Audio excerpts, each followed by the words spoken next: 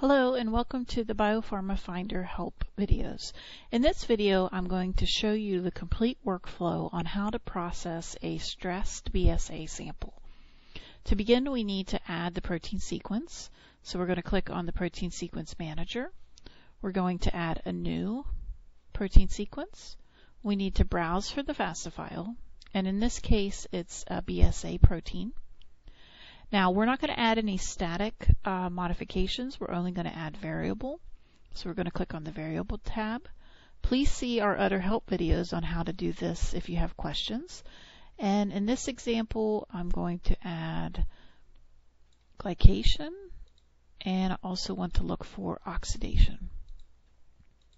So I have my protein, I have three different variable modifications. I'm going to save the protein and you'll notice that behind us, it actually was saved to the list. So then I can close. I'm going to go back to the home page. I'm going to go to peptide mapping. And I'm going to name my experiment. So this is our stress study. And I'm going to browse. Now in this example, I have four different raw files. So I'm going to open my files. And you'll notice that I can add different conditions. And so I'm just going to type high, space, low, space, oxidation, space, reference, space. Now when I do that and I click down here, they'll all be assigned.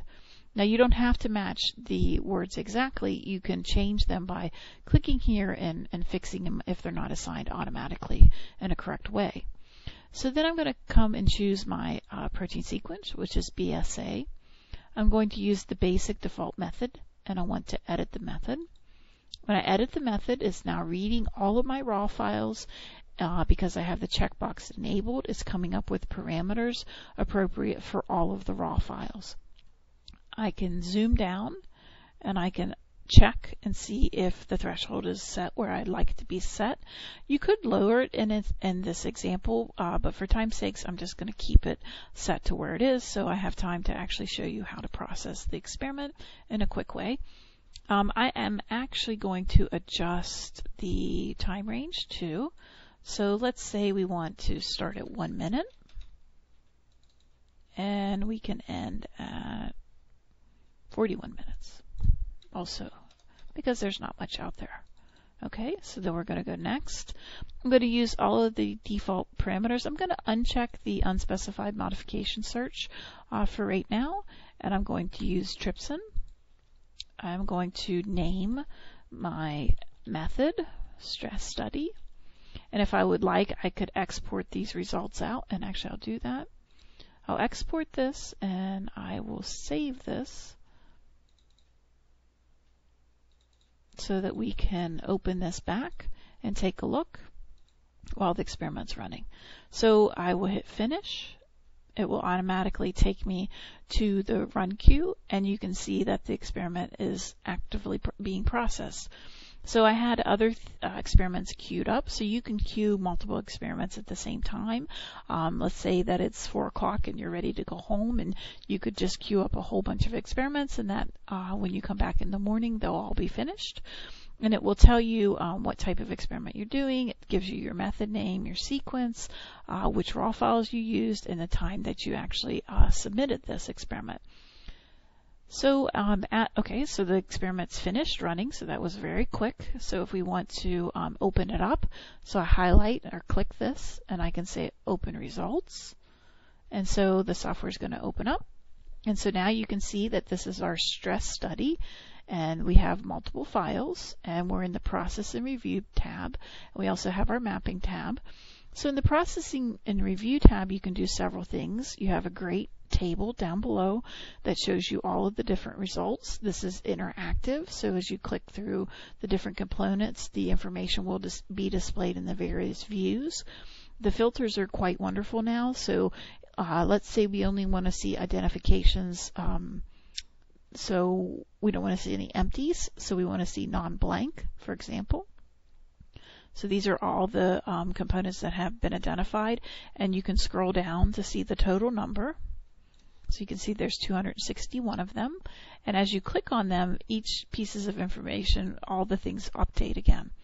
And you can filter. So let's say that we only want to see um, the glycation modification. So I could start and I could just type in here. So these are all the components that are glycated. You could select all of these and you can right click. You could export just these to Excel and it will take the information, um, you know, just the ones that you've selected. You could export all the information uh, to Excel. You can do de novo sequencing and you could create an MGF file, which you could then search in uh, Proteome Discoverer. You could search against a larger database uh, for host cell protein identification, for example. Uh, let's see, what else can you do? So you have the residue information now. We provide you delta ppm. We tell you um, if the identification comes from Fullscan or MS2. You can see all the different information. We have a ton of information in our columns now. Uh, this was a stress study, so we expect this modification to actually be the most abundant in the high sample. And so you can see, uh, for example, it's very high, 1e to the 6 here, e to the 4, and it's not present in these two, which it should not be present. Now there's another way that you can view this, uh, which I like to do, is see it um, as an SIC across all the different raw files. So what you're seeing in this view is you're seeing the first file. So this is a base peak chromatogram. You have an SIC here. So if you right click, you can uh, select chromatograms. So now we can actually show uh, the SIC for all four files at the same time. So if I collect that, it's going to show the, all uh, four SICs. So now you can see that we're looking at all the same component in all the raw files. One thing you can do in the software, all the windows, you can just grab a hold and pull them out. Or you can, um, they're all floatable. So you can click here, uh, I think it's right here, and you can say floating, so it's it's floating around. You can um, then dock it dockable again and then you can put it back. You can rearrange these, you can you can do all kinds of things in the software. So please play around with this because it really allows you different views on depending on what you're trying to find or what you're interested in. So in a in this type of experiment you might want to put uh, let's see you might want to put this in a different place so that you can see it. You could put it over here on a different screen uh, on a different monitor so you can expand this down so you can really see, okay, how does that really look? You can zoom in, you can see how the highlighting is done. You can see here's an example where this one's clearly in the top two, but it's not in the bottom two. So this is a really nice way. You could also add um, labels.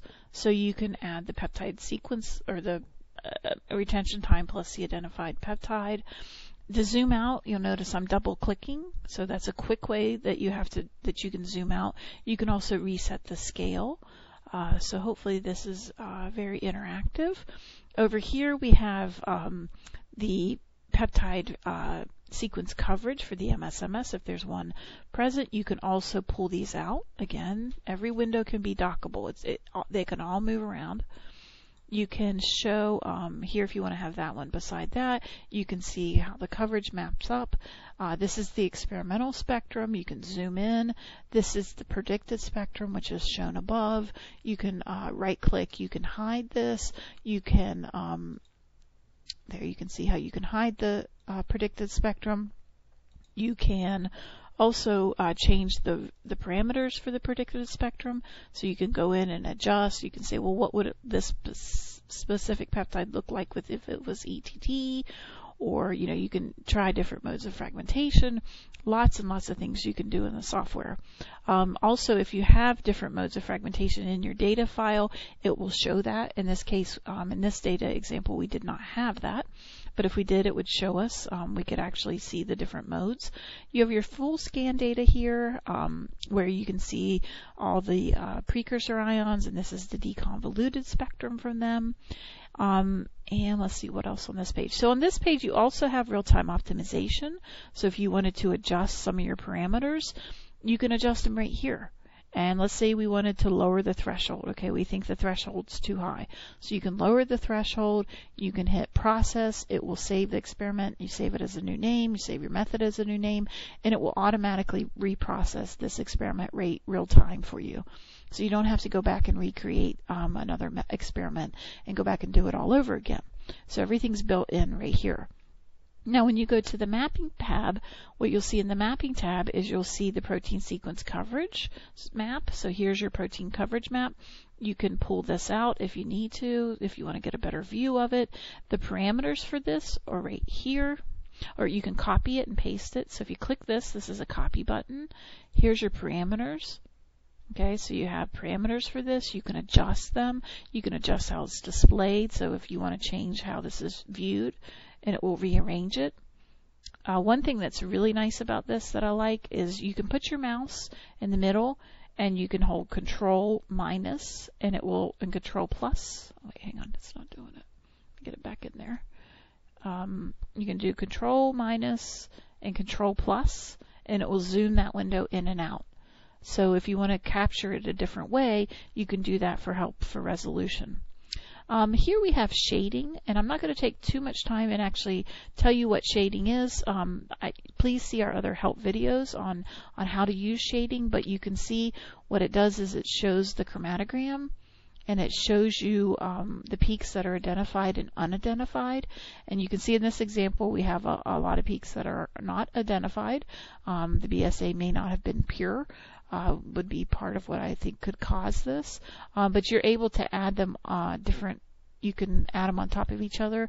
I'm using the control button to click and add.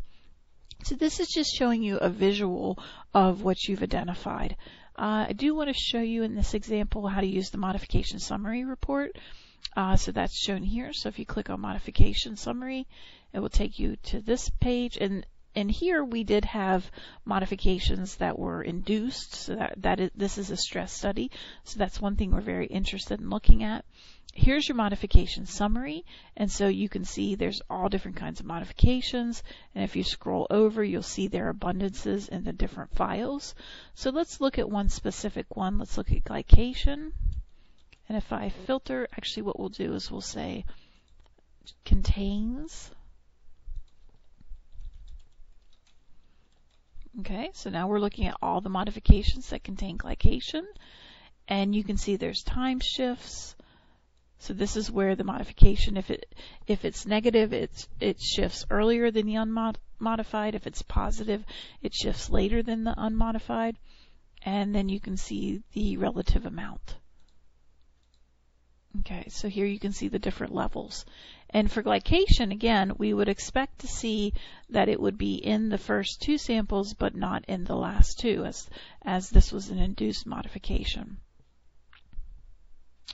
Okay, and then down here, what you're seeing is the components that are checked or blue were the actual components that were used to determine the value of the um, abundance. So you have your percent abundances here. We often in PepFinder people wanted to know how do you calculate that value. Well now you can see the components that we actually are using in that calculation and the areas for each of the raw files were used to determine the percentages. And in some examples you'll see, um, let me see if I can find one here, for example, you see that there's other components that aren't highlighted. These are other components that contain that residue that were not used in the calculation for various reasons. Um, it could be that there were two um, they didn't fit your criteria for the modification summary. So if you remember, there are parameters that are used in the modification summary. So if we click here, actually I believe they're here, you can see um, set the summary options. So here are your parameters. So this is where you have the minimum peptide um, intensity and you have your charge states. So uh, depending on what these parameters are set to, some of these components might not actually be used in the calculation.